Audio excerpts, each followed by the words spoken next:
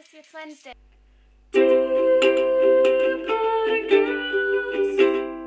Um, I first off really want to say that I enjoyed your video on Monday. I thought that it was really cute.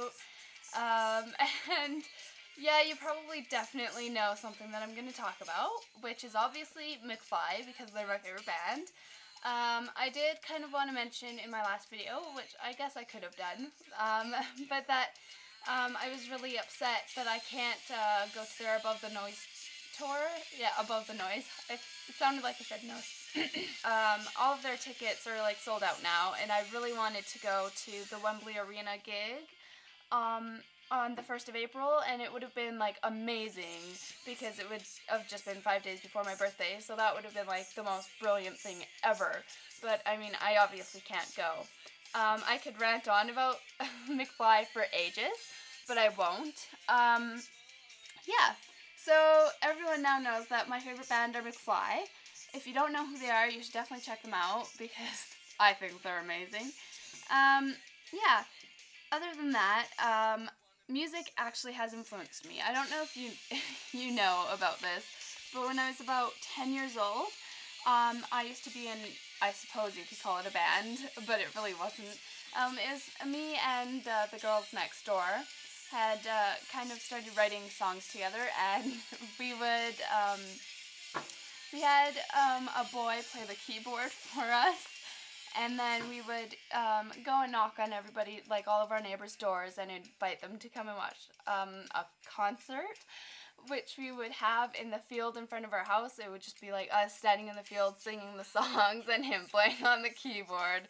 I've heard it was adorable, but like thinking back on it, it's quite embarrassing that we did that. But I mean, yeah. Um, and I don't know if I ever um, told you but uh, also, when I was about 10 years old, is when I think the Spice Girls were breaking up at this point because Geri wanted to leave, and um, my plan was at that point to move to England to become a new the new Spice Girl.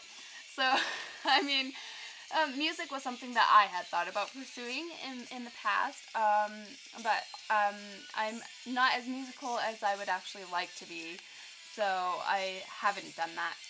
So you also know that I've attempted to learn acoustic guitar, but my dad does have an acoustic guitar, so I think I'm going to start um, trying to teach myself um, acoustic guitar again with my dad's guitar.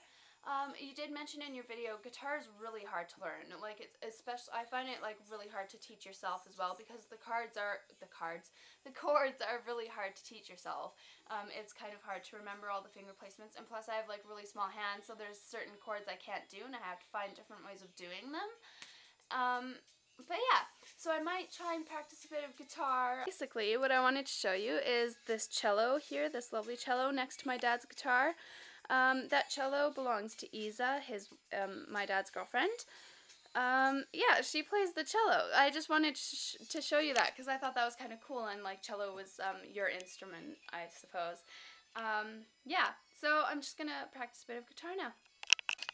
Okay, so um, I went to practice the guitar and I did like video a bit of it, but it was the guitar is really out of tune and it was just wretched, like absolutely horrid. So I decided to um, cut that bit out of my video. I'm really sorry, it was just horrible, and I don't want anybody to see that.